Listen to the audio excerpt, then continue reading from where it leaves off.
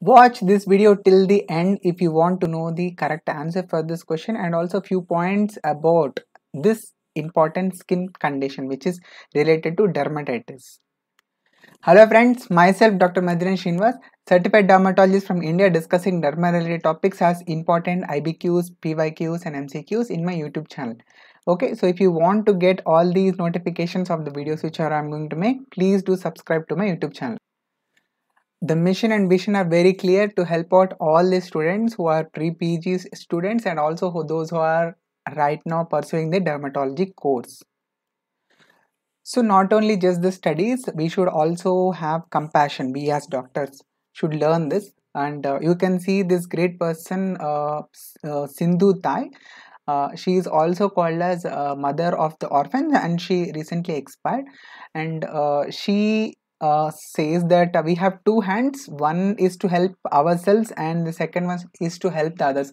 So uh, we doctors uh, uh, also are going to help others. So i will say first finish the you know deed which is at your hands. That is to get into the pg's uh, uh, you know branch which are you like or which are you deserve.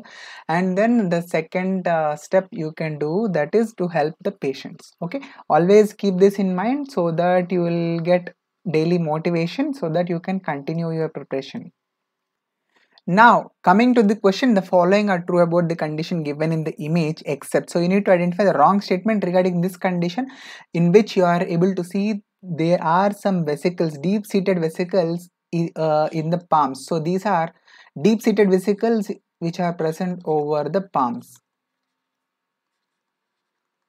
Okay, and whenever you get to see this kind of a picture, the diagnosis which you should think about is Pompholyx Pompholyx and uh, I am very happy that uh, this question which I have asked in the telegram. So almost all the students have marked the correct answer. That is option C option C. Very good all of you students. Okay.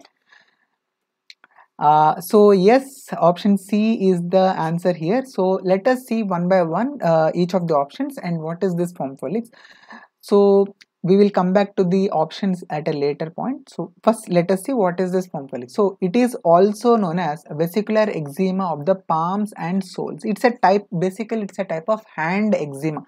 It's a type of hand eczema. Since there are vesicles present here, this is also called as vesicular eczema and since the lesions are predominantly seen over the palms and soles, it's called as vesicular eczema of the palms and soles. So what are the uh, predisposing factors for this condition? It was observed that those individuals who have a dry skin, who have a tendency to have a dry skin or those who have the filaggrin gene mutations, that is those who have atopic dermatitis or atopic diathesis and also those who are exposed to certain allergens and irritants so all these individuals are having a predisposition to develop the Pompholyx. Okay.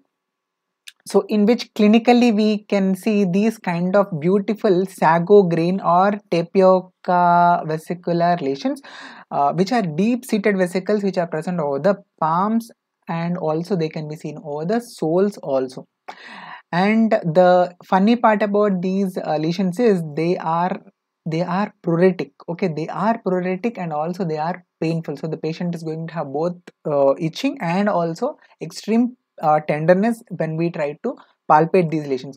So option c says they are painful but not pruritic.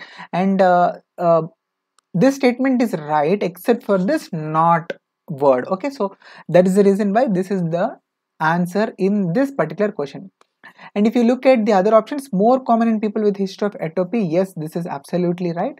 And the final last option says topical steroids can be used for this condition. And this is also right. Why? Because uh, the treatment of this condition is uh, very uh, tricky uh, it can be very simple like for example if you say the patient to avoid certain irritants and allergens they might uh, get uh, normal they might get normal skin and the next step which we can do is advise them topical corticosteroids and topical corticosteroids are the topical treatment of choice in this uh, case. And if the patient is having some recalcitrant and difficult to treat uh, type of pompholyx then we are going to advise some oral medications. And systemic retinoids like for example alitretinoin is uh, the preferred retinoid or in certain patients we prefer uh, immunosuppression. If the condition is very very debilitating then only we are going to advise immunosuppression in the form of uh, methotrexate or azathioprine or uh, cyclosporin okay but these are reserved for those patients who are having extreme extremely recalcitrant type of pompholyx or we can also uh, give them a PUVA therapy that is psoralen and UVA therapy. So this is uh, in brief about pompholyx okay and uh, this is tomorrow's question. If you know the answer for this please do comment uh, below. Wrong about histopathological examination of psoriasis. Epidermal thickening suprapapillary thinning uh, Kogoj spongiform pustules Pautrier's microabscess so what do you think is the answer for this question? Please do leave it in the comment section.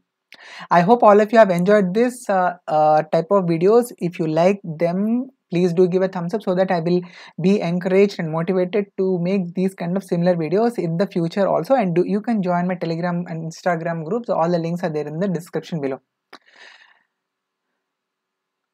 Okay so again uh, please uh, have compassion for the patients uh, and think that you are going to get the seat mainly to help the future help your future patients. In that way you can easily crack the NEET exam so thank you so much for watching the video till this point. Do like the video friends. Do not uh, forget. And uh, yes do subscribe to my youtube channel. So if you wish to get uh, this kind of uh, uh, short short videos. And also do share uh, to your friends those who were having some doubts regarding dermatology. Why? Because i will try to cover almost all the topics regarding the dermatological conditions which are important for NEET PG examination. And i thank you so much friends once again. Myself dr Maddineni srinivas signing off happy learning dermatology సర్వం శ్రీకృష్ణార్పణం సర్వేజన సుఖిన భవంతు. Thank you so much bye bye